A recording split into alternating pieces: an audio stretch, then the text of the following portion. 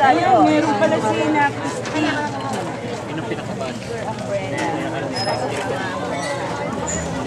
Let mo ka kapatid na O, Beng, pa- interviewin muna natin si Beng. Wala akong alam dyan. Ako'y late na rin. Palapas ako. Anong gagawin mo dito? Oh, bawal na mag Eh, dito ang daan eh. Yan, manita. Bagong buhay na Nariyan si na Eric ah. kung ayaw mo, Saan po? Nandyan, hindi kung ayaw mo naman marami. Huwag ka mag-inom. Wala po. sabi namin eh. Bawal kang maisip. Ano, ano, ano naman ginagawa mo? ito ay dead. Dead Binakura ka na pag.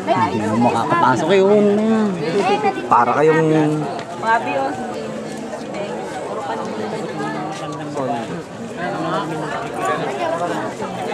Yung halupin. Yung nasa nandoon, nasa tabing paklong, umiwa ka doon.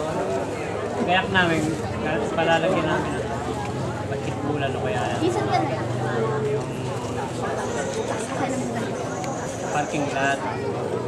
Parang, ako, sabi ko matandang mga.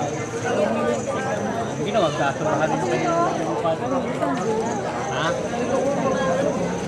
Gumalit ka ng paklong. Kasada. Oh, yung bakanting may mahaba, mataas ang pader. Thank you, Natalia.